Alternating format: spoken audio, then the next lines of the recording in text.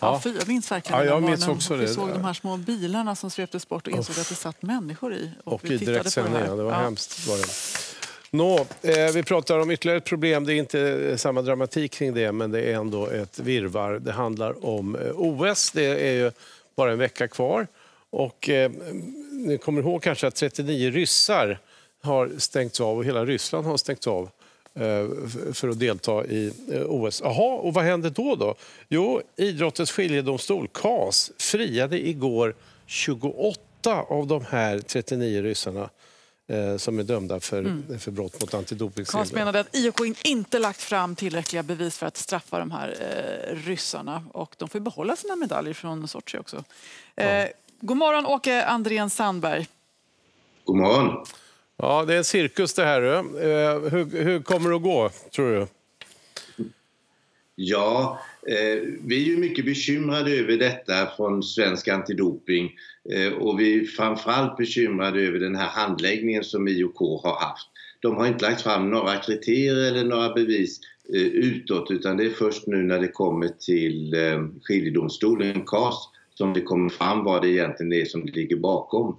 Eh, samtidigt är vi väldigt glada åt att det visar att det finns en rättsprocess även för idrottsmän och att eh, eh, det finns möjlighet att få rätt om det nu är, så att man har blivit oskyldigt dömd.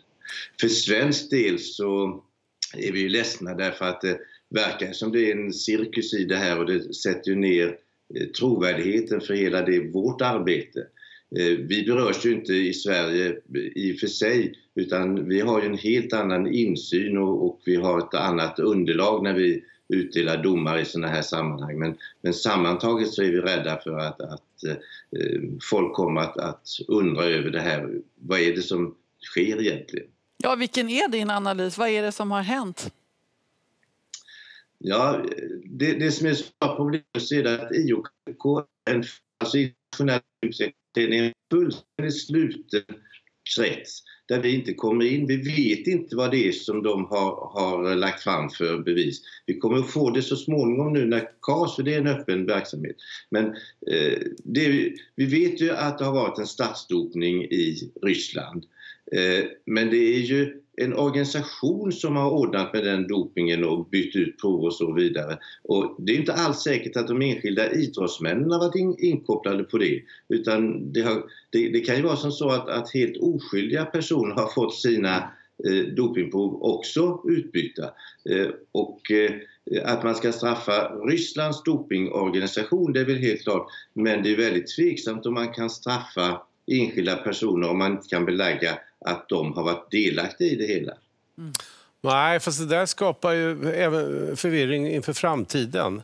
Eh, Om exempelvis enskilda idrottare kan skylla på en organisation. Det, det är inga enkla frågor här. Då. Nej, eh, men eh, vi tror att det blir mycket bättre nu, eller vi vet att det blir mycket bättre nu för vid OS i Korea nu så har vi exempelvis vår egen svenske laboratoriechef, han är där och vi har som vanligt har vi då eh, andra representanter som är med och tar dopingprov på, på dem. Så vi kommer att få en helt annan insyn och när det gäller doping på, på den här organisatoriska nivån så tror jag att vi har kunnat komma över det väldigt mycket. Ja, vi hoppas det. Tack så hemskt tack. mycket.